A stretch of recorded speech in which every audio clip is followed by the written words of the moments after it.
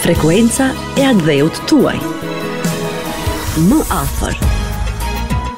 Më afër. Emision për bashkatdhetarë. Mirëmbrëma të dashur dëgjues. Sonte në emision kam ftuar një mërgimtar tonin, një djalë të ri shumë punëtor e të vyer, një lobist të veçantë për Kosovën. Ai ka adresuar shumë çështje për Kosovën dhe vazhdon ta bëjë atë që ta promovojë në shumë qarqe, në shumë mjedise, në shumë institucione kudo që lëviz. Unë jam Hyrë Tejeci Murati. Kemi ftuar në emision zotin Binak Sylaj nga Deçani, i cili jeton në Zvicër. Mirëmbrëma, mirë se erdhe Binak. Mirëmbrëma juve, mirëmbrëma Kosovë. Faleminderit. Kam zgjedhur t'ju ftoj dhe ta trajtojmë bashkë me ju një emision të veçantë me të vetmën arsye lobimin që bëni ju për Kosovën ngado që lëvizni. Çka ju shtyn të jeni kaq lobist për Kosovën? Në radhë të parë faleminderit juve që jepni mundësi mërgimtarëve të shprehin domethënë interesin e tyre gjatë viteve që kanë bo e, për Kosovën. E, unë me lobim në çështje ekonomike dhe diplomatike kam fillu në vitin 2009, diku deri në vitin 2016 intensiv. Mm -hmm. e, lobimet kam bo në shumë vende të ndryshme të Kosovës. Një që mundna me cek është edhe e, Meksika, Po, deri atje. Po. Po. Faktikisht nuk isha unë në Meksik personalisht, mirë po kishim një tubim prej lobistëve të ndryshëm të botës në Londër. Aty takova ambasadorin e Meksikës dhe i kërkova që të më jep mundësi një takimi që të flas me dikon dhe t'i drejtojmë e, draftin për njohjen e Republikës Kosovës në Meksikë. Mm -hmm. Fatkeqësisht, ai e pranoi këto shumë mirë, Mirëpo më tha, Kosova ka ambasadën që sa kohë në Londër dhe nuk ka ardhë një diçka, një kërkesë e tillë. Aha. Kjo është që mu më ka më ka zhgënjyer jashtë mase. Mirëpo nuk më ka ndal, domethonë në këtë drejtim që të loboj në çështje ekonomike po dhe diplomatike. Cilat forma të lobimit i bën, domethënë, si nis formën e lobimit, cilat janë forma të lobimit që bën? Unë çdo herë prezentohem si e, një lobist i pavarur, po.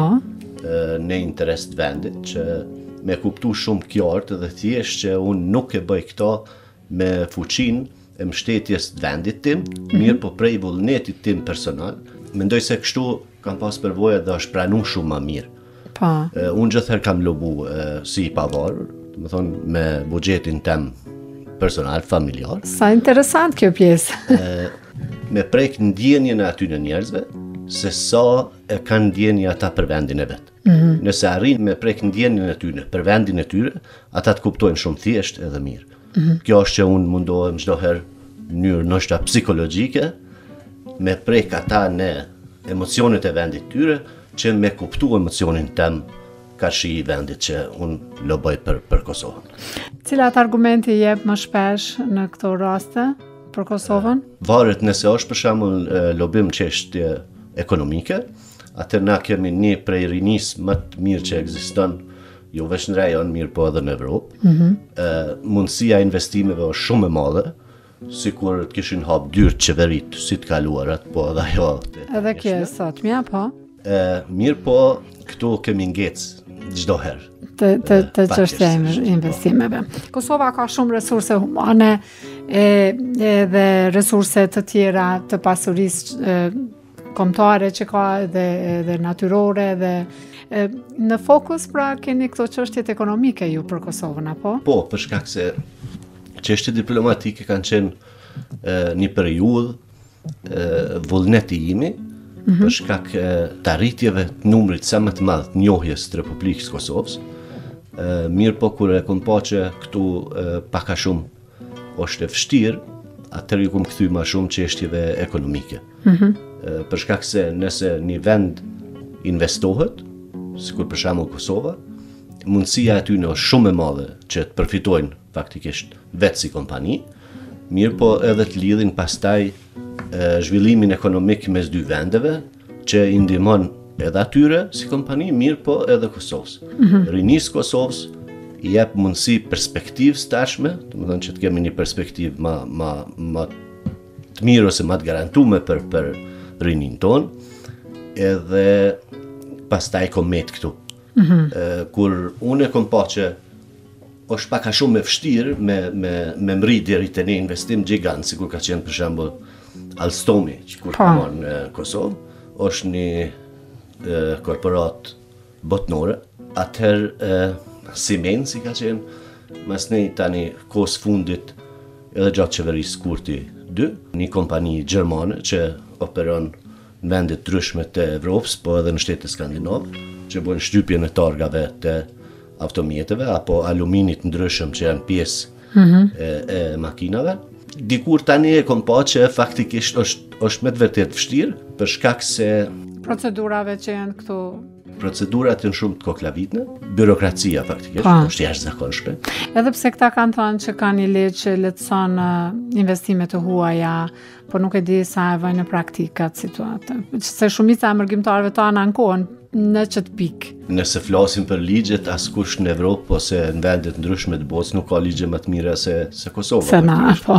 Ne kemi trashigu ligjet prej vendeve të ndryshme prej vendeve ma demokratike në, në Evropë dhe në botë, mirëpo derisa ne nuk nxjerrim rregullore që faktikisht e ndihmon ligjin me zbatu, me zbatu po. atëherë është e vështirë. Dhe kjo ju ka shkaktu juve shumë telashe, po, çështja e burokracisë. Po, absolut, po. Nuk është vetë kjo, unë mendoj që këto janë të lidhne edhe me politikat, po. dhe pavarësisht çfarëdo qeverie që ka qenë edhe qeveria e tanishme, mendoj që bojnë politika populiste, mm -hmm. që faktikisht kanë interesin e tyre për të nejtë në pushtet, edhe sa i përket perspektivës për rininë tonë, unë mendoj që nuk janë marrë shumë me këtë me këtë drejtim. Po kjo është pasojë edhe largimit të shumë të rinjve ndoshta. Po tash nëse marrim shembull, ë dikush ka lind vitin 2000 po. pas luftës, sot jemi 2023 ose është 23 vjeç ose 25 vjeç. Po.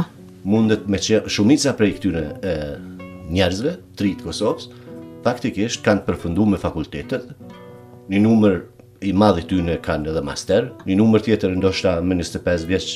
Janë edhe doktor shkence, po.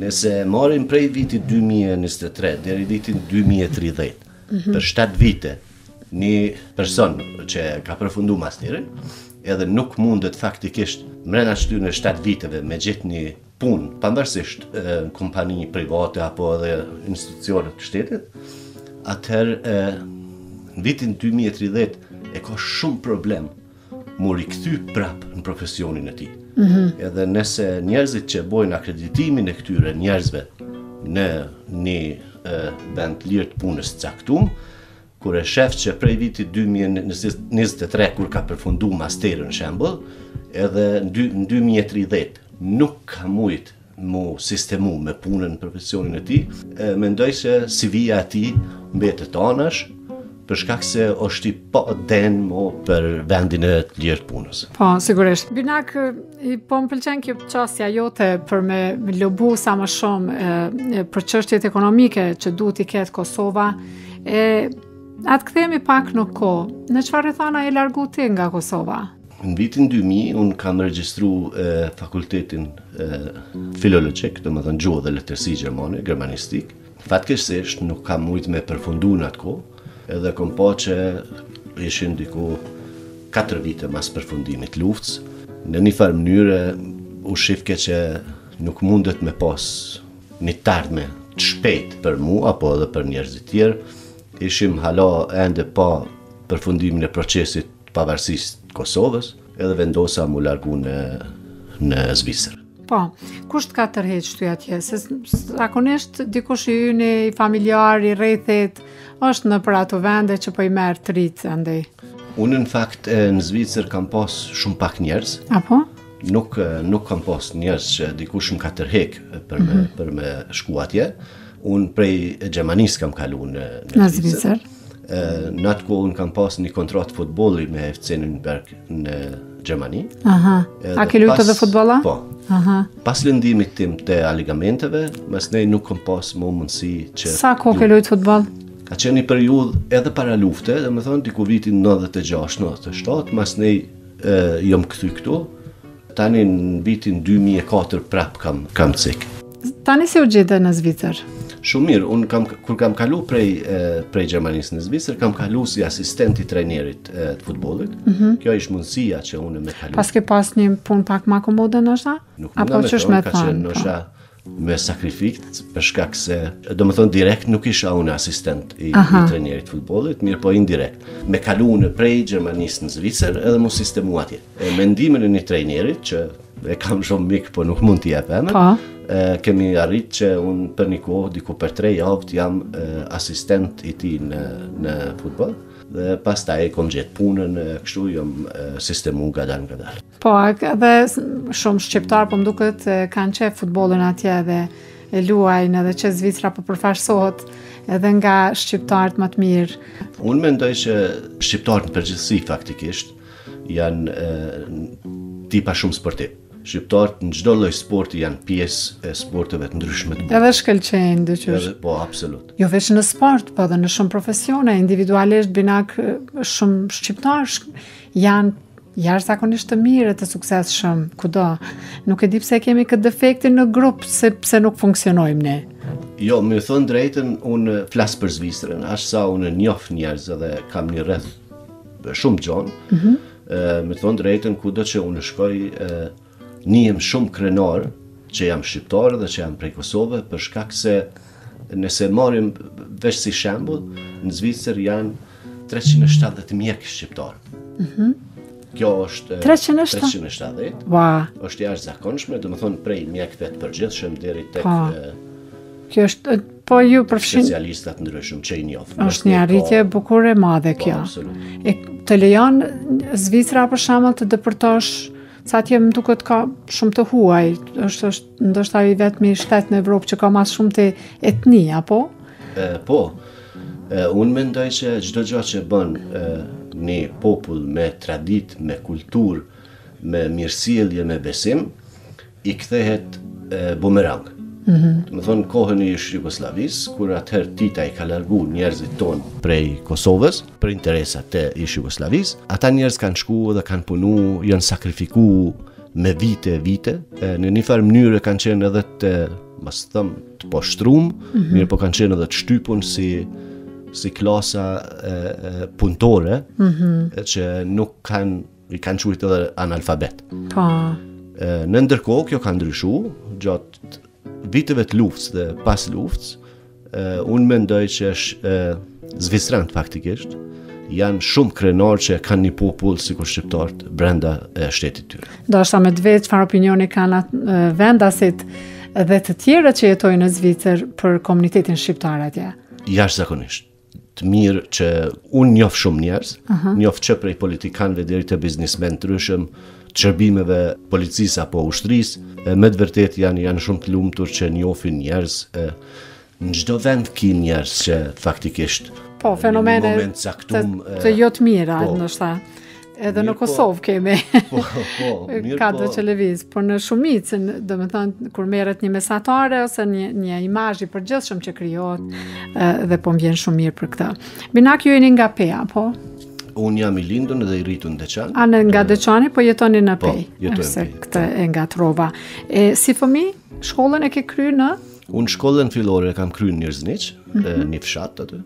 Shkollën e mesme dy vite kam kry në Pejë, shkollën e artit, shkolla e mesme Odhise Paskali, mm -hmm. pastaj kur ka fillu, domethënë, prishja situatës në vitin 97 e kështu, u detyrova faktikisht që të kaloj prej Peje në Deçan, edhe kam vazhdu e, dy vite tjera të shkollës mesme në Deçan, drejtimin gjuhësor shoqëror. Po, tash fëmijët e tu i rrit në Zvicër. Po.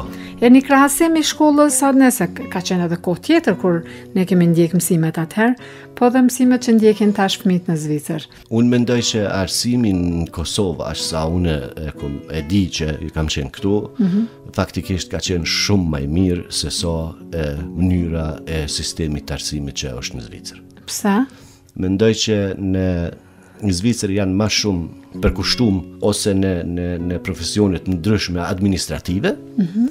ose në shkolla profesionale që, që i nxjerr menjëherë në punë. Po, po. Mm -hmm. po këtu te ne është një sistem i përgjithshëm që shpesh jena anku që ndoshta po humbim shumë kohë dhe energji me i mësu krejt gjana të gjithë njësoj, e vonë po profilizohemi. Jo, unë mendoj që këtu në Kosovë, faktikisht prej unë kur kam qenë student këtu vitin 2003 e 4, është duft me u organizu në një mënyrë pak ma ndryshe. Po. Domethënë, me nxjerrë e, profile të ndryshme e tregut. Mm -hmm. Edhe faktikisht me dhonë si opinion, që nëpër këto profile tregu është me një përqindje kaq ose kaq ose kaq kështu domethënë domethënë me pa nevojat e tregut ku duhet të po, përqendrohet më shumë po rinia ose studentët po nuk i kanë bo këto ne edhe kemi për shembull ekonomistë dhe juristë po që nuk kanë vendet e ndryshme të Evropës apo të botës mm -hmm. ka shumë domethënë Tani te ne ka fusha të ndryshme që nuk janë studiu ose shumë pak. Po. Edhe ata që kanë studiu ato fusha faktikisht sot janë jashtë vendit. Po. Binak, po ndalem tash te kjo çështja kryesore ju që për cilën ju kam thirrë, keni në fokus lobimin për investime në Kosovë. A ki kontakte me, me afaristë në Zvicër dhe në mërgatën tonë, që ka shumë afaristë të suksesshëm, me cilët disa, disa emra i njoh, edhe kam kontaktuar, po sigurisht edhe ju keni një rrjet më të gjërë. Po, unë njof shumë shqiptarë që kanë faktikisht atje firma që edhe janë me të vërtetë e, mos themi tani vetëm firma, po, po janë me të vërtetë kompani, kompani gjigante po. që, që, që e, operojnë atje. Unë njof shumë si në Zvicër, në Gjermani, në Belgjikë, e kështu me radhë, secili që unë njof faktikisht ose ka një kompani, ose ka edhe deri në 7 kompani, që operojnë në vende të ndryshme të Evropës. Kjo është shumë e mirë për shkak se nëse na e, e shohim një biznesmen që ka një kompani, po ai ka, domethënë, punë të arritme me buxhet milionsh. Mm -hmm. Kur flasim për atë kompani, është noshta, noshta, po Po themi se është e barabartë edhe me ato kompani që i ka dikush gjashtë apo shtatë tjera. Po, çfarë komunikimi keni ose kanë ato ndërmjet veti? Ka bashkëpunime po, ndër kompanitë po, shqiptare? Po. po. Ka në Zvicër për shembull, kanë bashkëpunim të jashtëzakonshëm në bizneset mes vete. Po. Ka edhe prej atyne që kanë kriju një, një rreth edhe një shoqëri aksionare që kanë ble edhe objekte të ndryshme për nevojat e këtyne bizneseve që të majnë takimet e ku e di unë e tjera, mhm. ka mjaft njerëz që kanë arrit, po flas për Zvicrën, po edhe pse unë kam jetu edhe në Bruxelles gjatë viti 2014-2016 me punë, në Hollandë, e kështu me radhë. E çka ke bo në Bruxelles? Çfarë pune ke bë?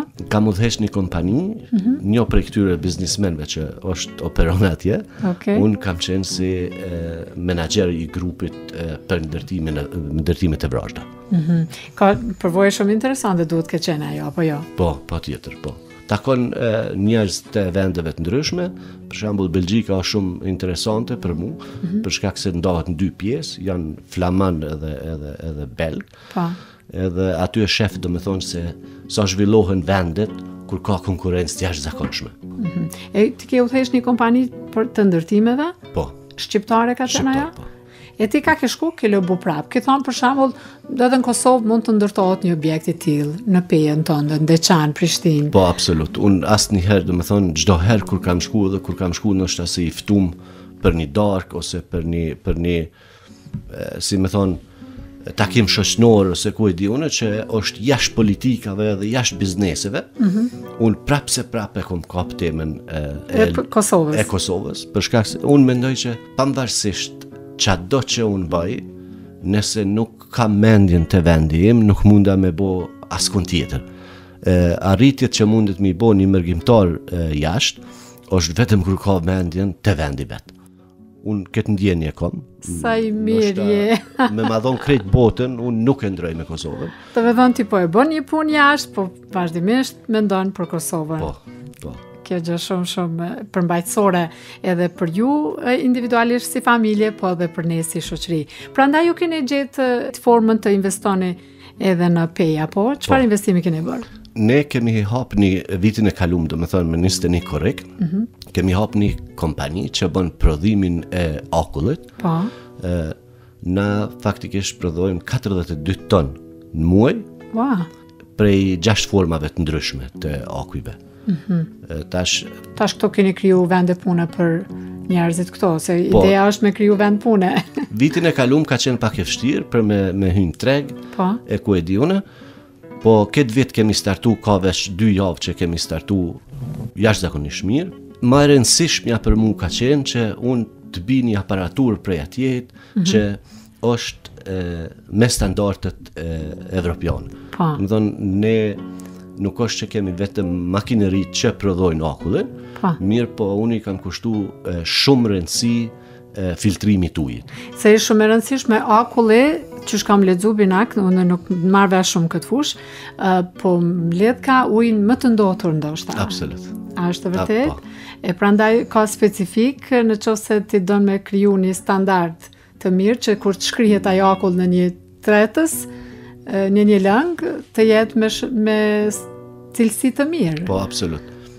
Na kemi, domethënë, teknologjinë ma t're që ekziston sot, është e, Brita Purity, mm -hmm. 1200 Quell, që e bon, domethënë, filtrimin e ujit komplet, e, domethënë, komplet e, gëlqeren. Po, e, e, e, eliminon. E, eliminon edhe bakteriet. Po. Akulli është me të vërtetë na mendojmë se akulli është ndoshta sendi më i pastër që po. ekziston, po është ndoshta më i rrezikshmi që ekziston. Ah. Për shkak se n'Zvicër kanë rreth 8 milion banorë. Mm -hmm. Gjatë sezonit verës, edhe pse ka, domethënë kontrolla të jashtëzakonshme, janë diku 35% e popullatës gjatë sezonit verës helmohet prej akullit. Kjo kjo është e rëndësishme për shembull me me cek, për shkak se Akulli nuk don këputjen e temperaturës minus. Mm -hmm. Domethënë që nga prodhimi në deponim, prej deponimit me transport, e, po, me transport e, e, me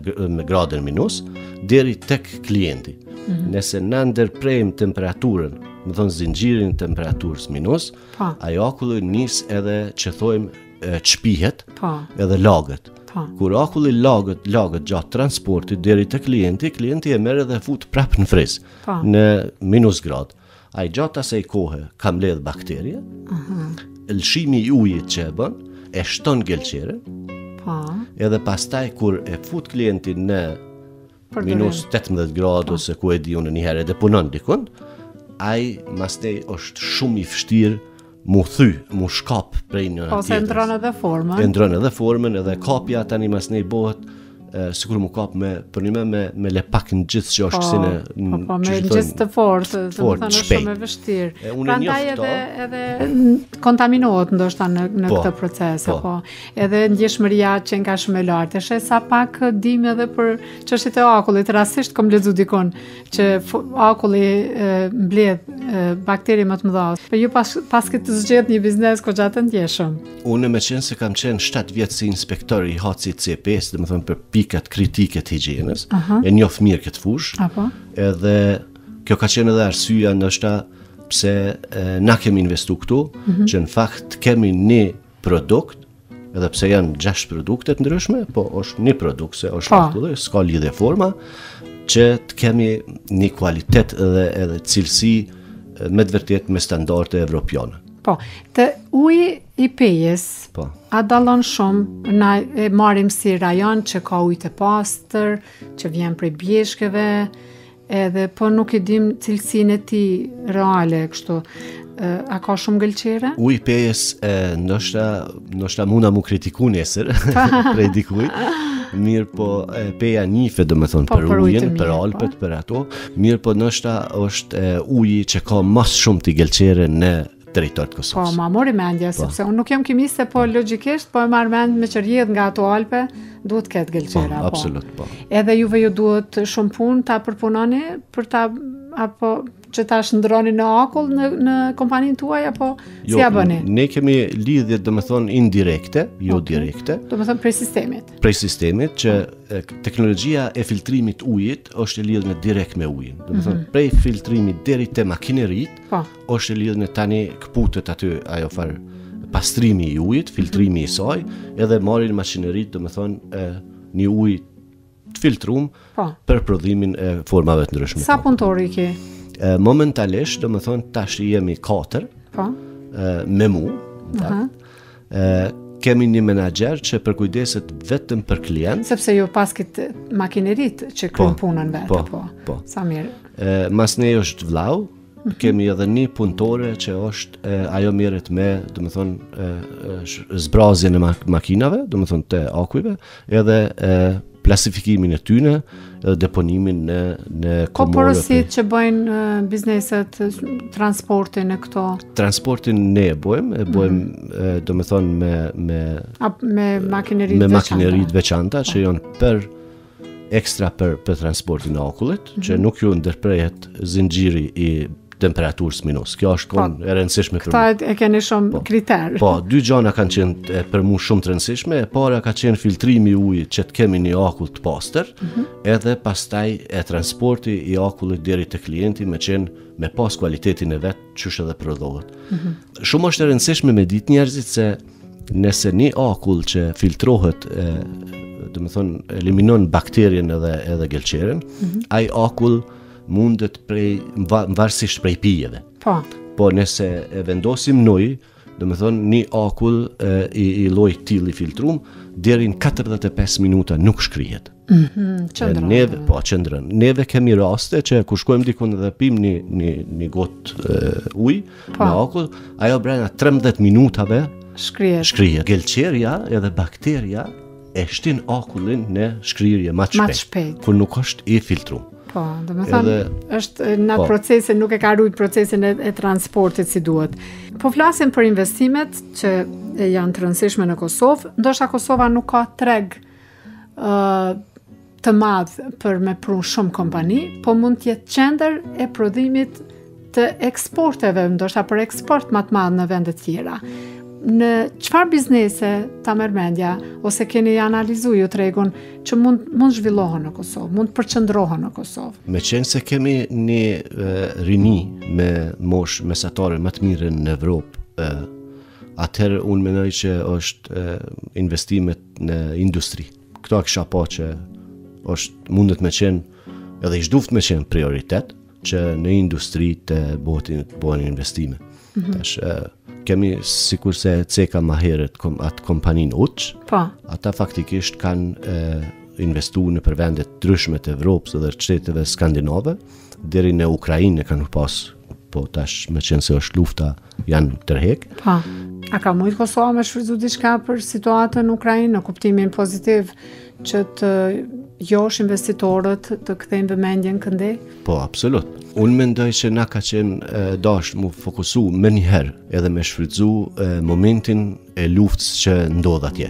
Po. Ato kompani të cilat janë prej vendeve të ndryshme të Evropës, Ka qenë dashtë na automatikisht me i kontaktu edhe me i pytë se çka do të bojnë me investimet e tyre që i kanë për shembull në Ukrainë. Po.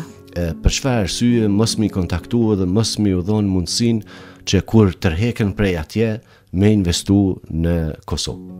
A është pak vonë Binak Për me bo gjithë këtë investim, gati një përqindje e madhe e të rive janë largu, janë sistemu në vende të ndryshme në Evropë, ndërsa është pak vështirë me u kthy ata tash menjëherë, apo si e sheh disponimin e tyre? Unë e shoh nuk jemi na vonë, domethonë, me pa mundësitë për investim, mm -hmm. po na duhet me konë sa ma të hershëm tani, që mi sjell investitorët mos me ik rinia jonë. Unë jam largu vet prej prej këtu, mirëpo atëherë ka qenë një situatë krejt tjetër viti 2004, mas pavarësisë së Kosovës, domethënë me të vërtetë është e dhimbshme kur njerëzit ikin. Hmm. E, Kosova menjëherë pas lufte, unë e maj mend, ka marrë domethonë menjëherë vitin 2006, pastaj e 2008, pak para shpalljes pavarësisë Kosovës, prej vitit 2000 deri vitin 2008, Kudo që kem shku nëpër fshatra si në në rajonin prej ka vi unë prej prej Deçani apo Peje, nuk kemi mujt me e gjetë një shpi e cila shifet që ka qenë e dëmtume gjatë lufte. Po. Për shkak se njerëzit, e, na si Kosovë nuk mundem kurrë me ju dal hakut mërgimtarëve. Asnjëherë. Edhe pse unë kam shku vonë,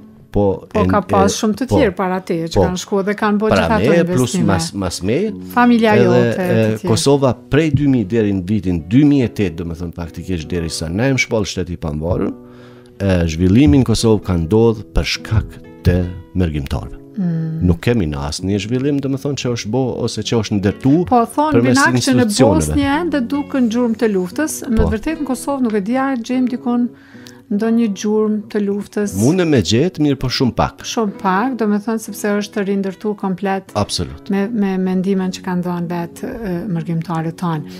Gjithë këtë dashuri që ke ti për Kosovën edhe gjithë këtë intensitet për lobim që bën ngado që lëviz, uh, je rriti me, kult me kulturën atje në Deçan? Unë vi prej një fshatit Kodrali, quhet, oh. është një fshat shumë i vogël. Mm -hmm. Mirëpo, këta më duhet me cekë, se o shumë e rëndësishme për mu, ajo ka qenë faktikisht edhe frymëzim për mu që gjithherë me qenë në lëvizje. Po.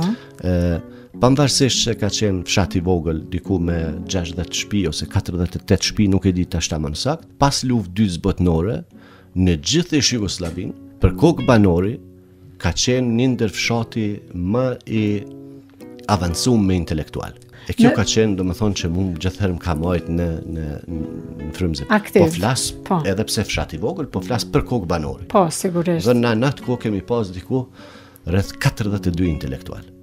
E sa sa banorë ka pas krejt fshati? Ndoshta i ka pas niqind. Sa shpi, po domethënë, domethënë. Po, shumë shumë pak, ndoshta 48 shpi sa sa e di, nuk jam i sigurt, mirëpo domethënë. Çfarë mbiemna ka atje? E ka Sylaj, ka Ferizaj, ka Hasaj, ka Gjonaj, ka Pepaj, ka Aliaj, e kështu. Domethënë në në në ato shpi paska pas Gati në secilën nga një të paktën. Një ose dy, po. Ose dy. Po. Domethënë në atë kohë, po. në, në ish-Jugosllavi. Edhe ju kanë orientuar menjëherë pastaj, të paktën shkollimin. Po, secili që na e kemi pas në, në fshat, e kem pas njerëz që kanë qenë intelektualë, që gjithherë kanë shty rininë e fshatit, me shku drejt pendes. Mm. Kemi pas njerëz që kanë qenë patriotë, po. Po. që çdo herë e kanë prek tani teatrin edhe në aspekt emocional për po. Po. vendin. Po. Po. Domethënë kjo ka qenë për mu, e, ka qenë një kombinim i jashtëzakonshëm. Ju keni se... qenë aktiv dhe në luftën e Kosovës, apo? Po, kam qenë 17 vjet e gjysë, kur jom bo pjesë e Ushtrisë Çlirimtare të Kosovës. Sajri. Një kohë kam qenë bartës i armatimit Shqipëri Kosovë. Mm -hmm. Tre herë kemi qenë në Shqipëri. Faktikisht dy herë në Shqipëri, një herë deri rreth kufinit, pastaj herën e tretë kur Sa ka qenë rrezik binak për ju që s'keni ditë atëherë teknikë të luftës? A jeni trajnuar? Më vjen shumë keq për djem të ri që kanë ra, ndoshta për shkak edhe që s'keni pas një njohuri elementare të taktikës në ushtri. Me thonë të drejtën kur je për shembull prej një fshati të tillë, tash po, po. flas për për veten dhe për fshatin tem, nuk mendon absolut që që rrezik mundet me kon rrezik. Po. Unë unë kurrë nuk e kam pa që mundem mu mu mu rreziku ose mundem ndoshta mu vra ose ku e di unë. Në korrik të vitit 98 kur ka hyrë një grup prej Shqipërisë në Kosovë, mm -hmm. kanë vdek fatkeqësisht rreth kufinit 24 po. pjesëtarë të Ushtrisë Çlirimtare të Kosovës. Në atë grup kem pas mu kthy edhe na si grupi i, i fshatit. Mirëpo na nuk kemi arrit mu mu me mobilizu me me me armatim, domethënë po, mu furnizu. Mu furnizu. E, jemi e, mbet mrena aty në atë natë pastaj e, televizioni i Shqipërisë Reis Çiço që ka qenë një prej gazetarëve. Po, ma të njoftun të kohës. E, ka dhënë edhe emrin tem që kam ra në kufi. E paske tmerru nanën tënde. Po, ka qenë shumë e vështirë për nënën, ka qenë e vështirë për babin, edhe pse për babin se na ishim n'kontakt, domethonë, na ishim në, në pjesën e, e Bajram Currit aty ku janë e, Hoxhaj, Kërrnaj, po. faktikisht Haklajt që po. janë ata. Unë, na i kemi dajë atje. Mm Edhe... Se zonë kufitare është ku, kjo, po. edhe katuni yt, apo? Sa i bjen me kufi? Nuk është shumë larg, mirëpo e, duhet me kapërcy rrugën kryesore. Aha. E kjo ka qenë problemi kryesor në atë kohë, e, kalimi i rrugës kryesore e, magistrales Deçan Gjakovë. Po, Këtu sepse ka pas shumë kontroll atëherë, po. më duket pjesa ma e kontrollume, sepse po. përqendrimi i forcave të ushtrisë e policisë serbe janë kanë Secili furnizim ka ardhur, domethënë për gjithë Kosovën, mm -hmm. furnizimi me armatim që është bërë, ka kalu faktikisht përmes përmes neve, përmes mm -hmm. Deçanit, përmes Dukagjinit. Po. Edhe keni keni arrit me sukses ta ta ta kapërceni atë. E përmendni shpesh atë kohë për shembull sot Sa janë fëmijët e tu të rritun? Uh, unë djalin e kam 14, vajza është 12. Edhe ata si, si një ngjarje, kështu si në film, ju duket kjo histori? Uh, jo, djali faktikisht interesohet shumë për ngjarjen e, e luftës 98-99, ose të themi 97-99, mm -hmm. sepse unë prej vrasjes Luanit e, po. e, e konsideroj luftë, në mhm. Kosovë. I intereson me të vërtet shumë djalit, edhe mm. hin lexon, gjen diçka.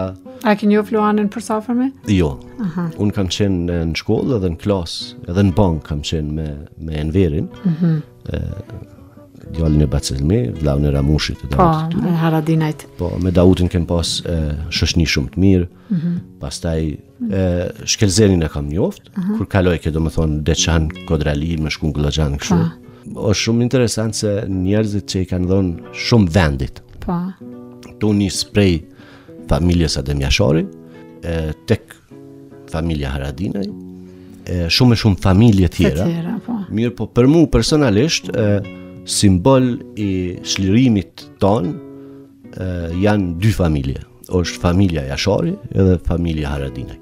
Mm. Pavarësisht dallimeve, shumë, kanë dhënë shumë. Po, pavarësisht dallimeve politike, po. Mirëpo në mesin e gjithë kësaj që i qet kurorën, do të thonë, është edhe familja e presidentit Rugova. Po, ose po, vetë presidenti Rugova. Po, vetë presidenti Rugova një figurë që ka bo edhe ai shumë. Po, absolut. E për Kosovën, Kosova është ka hy në qarqet ndërkombëtare falë angazhimit të tij. Si e shef ti perspektivën e Kosovës me gjithë këto pengesat që na dalin në, në rrugë? Qysh e shef ti perspektivën e Kosovës në afat shkurt? Unë mendoj se njerëzit ose politikanët duhet të kenë parime së pari. Pastaj në bazë parimeve tyre, gjejnë mundësinë ose kanalin e kompromisit. Nëse na mbesim radikalë parimorë, nuk mundem me gjetë asnjë kanal të një kompromisi që e, mundet ndoshta me na liru pak në t'ardhmen. Fatkeqësisht, unë e shof që politika në Kosovë, siç e thashë edhe ma herët, është bo me ma shumë populiste, me tendenca që të mbajmë njerëzit afër për shkak të interesave të subjektit, po edhe vetë të grupeve të ndryshme që kanë pas interese t'caktume, na duhet me qenë të unifikum për çështje kryesore. Për shembull, mu çka më vret ma s'shumti është e, njerëzit e pagjetun. Hmm. Kanë kalu shumë me shumë vite, ndoshta për neve, kanë kalu 24 vite, po për ata njerëz të cilët i kanë të hupun dhe nuk i dinë ku i kanë eshtrat e tyre që me shku me vu një kurorë apo me me u ul pranë varrit të tyre e, është sikur atë ditë kur kanë humb sikur që sot kur nuk i kanë dhe dhimbja atyne Për 24 vjet nuk ka pushu. Gjitha qeveritë, fatkeqësisht që nuk kanë bo asnjë send n'këtë drejtim, është se gjatë fushatave gjithherë i kanë përdor po, viktima të ndryshme. Ose dhimbje kaq të ndjeshme për Po, absolut. Sot, për shembull, prapë thom, duhet t'jemi të unifikum për interesa t'vendit, asnjëherë për interesa personale.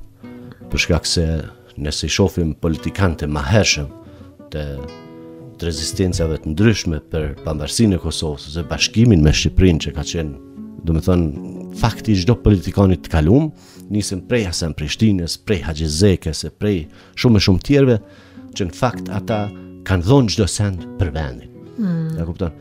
E këtu është bo shkëputja. Domethonë, këta bojnë populizëm ma shumë se ata faktikisht atëherë, këta i kanë marrë vendit, e ata i kanë dhonë vendit. Domethonë, këtu është dallimi. Po, e po. nëse nuk jemi të unifikum na, sot, e kemi shumë problem me, me, me gjetë një, një, një zgjidhje. Është është problem edhe me, me gjithë këto zhvillimet e fundit që pak na kanë kthy mbrapa. Uh, Binak, ti po bën jetën mes Kosovës edhe Zvicrës, ma shumë je në Zvicër, apo? Uh, jo, me, me thonë të drejtën, jam barabartë, thuja. Mm -hmm. Jam çdo muj këtu, çdo pesë javë, ose çdo dy muj jam këtu. M'shti me uh, lobu, me i bindë dhe të rinjtë, mos ndejt shumë atje. Taç vijnë tash. jo, unë mendoj që, unë mendoj që, Pika kryesore që unë tani i kom qitë vetes, është e, lobimi tek mërgimtarët, po. tanë që të investojnë n'Kosovë, sikurse edhe unë që e kam bo. Po, me marrë shembull vetveten, pastaj po. ke të drejtë t'ju kërkosh edhe të tjerëve. Arsyja e vetme pse e, na kem bo investimin këtu, ju thom të drejtën nuk është qeshtje e, e përfitimit. Po. Absolut nuk është qeshtje e përfitimit, është qeshtje e lidhjes gjeneratës të tre, domethonë të fëmijëve të mi me vendin e tyre, me një kompani që unë besoj shumë që dhe që ka fillu hapat e suksesit, mm -hmm. për m'i, m'i tërhek ma shumë fëmijën. Na tash edhe kohën e fundit, domethonë para dy muaj kështu, Kemi vendosë që ose jemi në prag edhe të një themelimit të një kompanije, mirëpo atje. Po. Që të lidhim domethënë këto dy e, kompanitë mes veti në bashkëpunim. Mm -hmm. Kompani të ngjashme, të njëjtë. Apo tjetër, jo, tjetër format, Po, tjetër format, mirëpo ka të baj edhe me këtë me këtë mm -hmm. me këtë fushë. Tash jemi të po mundësinë e, e vesh themelimit të asaj kompanie, është një kompani që ka shumë pak edhe ka shumë pak konkurrencë. Mm -hmm. Domethënë këtu kam gjetë atë farë iden se që është mundë me vepru. Edhe tjetra është në fakt që unë gjithëherë gjithëherë kam qenë interesum, jam interesum që të bojmë investime në Kosovë. A ta mbyllim me këtë mesazh që të bojmë krejt investime këtu? Unë nuk e kam ndërmend me lëshu Kosovën. kam pas mundësi, por nuk do të shkojmë. Kështu që po, po rrumbullakojmë këtë, këtë intervistë. Edhe me një porosi edhe për të tjerët? Po, patjetër, në radhë të parë edhe njëherë juve, që jepni mundësi e, mërgimtarëve të shprehin mendimet e tyre, idetë e tyre, e, mundësive të investimeve në Kosovë, po ma e rëndësishmja për mu është që me të vërtetë të jemi të unifikum çështje kryesore që t'i sigurojmë gjeneratave t'ardhme një perspektivë të sigurt ose një, një mirëqenie të sigurt, me një zhvillim të jashtëzakonshëm, edhe tjetra është nëse nuk nuk ndodh kjo me me investimet në Kosovë, atëherë nuk mundem me mri deri aty. Po çdo mërgimtari që është i interesun për vendin, ë i bëj thirrje që të investon në Kosovë. Sot ë nuk është më e rëndësishme patriotizmi, e, thirrje në luftë, thirrje në urrejtje, ose ku e di unë, patriotizmi kryesor për mu është patriotizmi ekonomik. Faleminderit shumë, ishte shumë kënaqësi. Faleminderit juve. Dëgjues të dashur, kishim në intervistë zotin Binak Sylaj nga Deçani, i cili jeton tash në Zvicër, Zoti Sylaj ka vendosur të bëjë jetën mes Kosovës dhe Zvicrës, më shumë në Kosovë. Ai fton të gjithë mërgimtarët dhe të tjerët të bëjnë investime në Kosovë sepse ka interes dhe ka shumë mundësi Kosova të japë. Ne këtu ndahemi për sonte me këtë emision. Emisionin Për bashkatdhetarë do të mund ta ndiqni edhe në kanalin zyrtar të RTK Radios në Youtube. Aty bëni subscribe dhe mund të shihni shumë emisione të tjera me interes për ju. Unë jam Hyre Tejeci Murati, këtu ndahemi për sonte, uroj më të mirat për ju dhe familjet tuaja, e mirupafshim në Prishtinë.